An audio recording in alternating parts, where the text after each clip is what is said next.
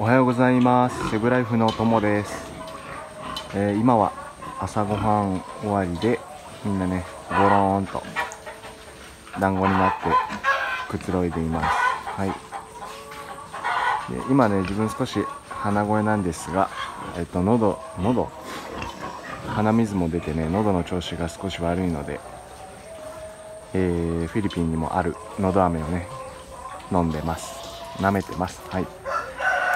なんか最近は雨、えー、夕方ぐらいになると土砂降りではないですがポツポツ雨が降り出すという変な天気がずっと続いているので豚もね、えー、人間も体調をしっかり管理しないといけないなという感じです。はい。で、えー、値上がりということであら大丈夫か？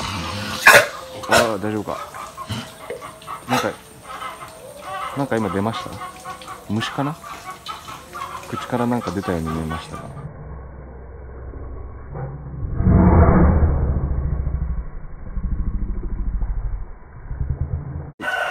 えー、値上がりということで、えー、この子たちね出荷来週なんですがこの子たちのうちの6頭かな出荷は来週なんですがその時ね、えー、出荷の値段出荷する、えー、体重1キロあたりの値段が200えー、220円と言われていたんですがまたねそこから値上がりして230円になりました。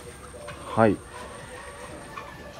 230円は、えー、一番最初ね6月に育てたね豚を出荷した時の値段なのであのー、結構ね上がってきています。はい。しかもなんと、えー、その次の出荷、えー、自分たちの出荷が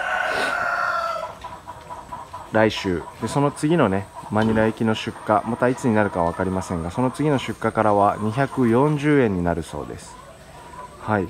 どんどんね豚の価格が上がってきてやっぱりあのマニラの方ではね豚を消費する人が豚肉をね食べるお客さんが多いのか需要が高まってきているという証拠なのか結構ね値段も上がってきています。はい。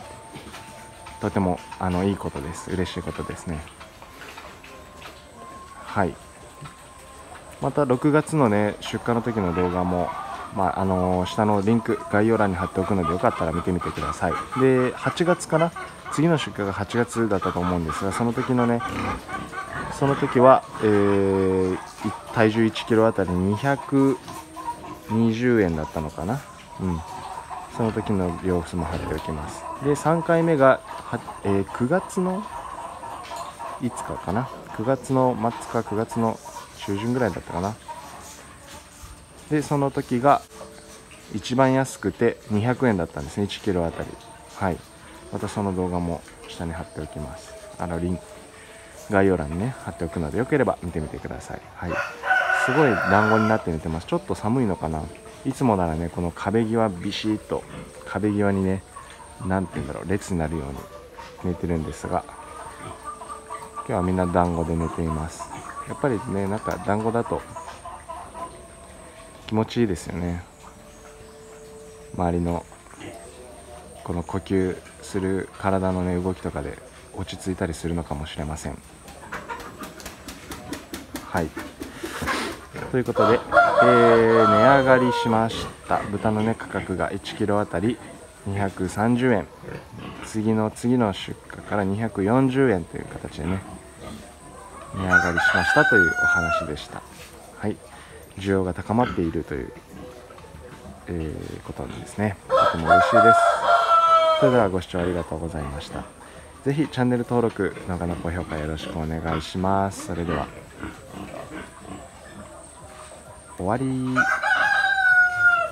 薄めで見てきてますね。やっぱりなんか喋ってるのが気になるのかな。あ完全に寝た。バイバイ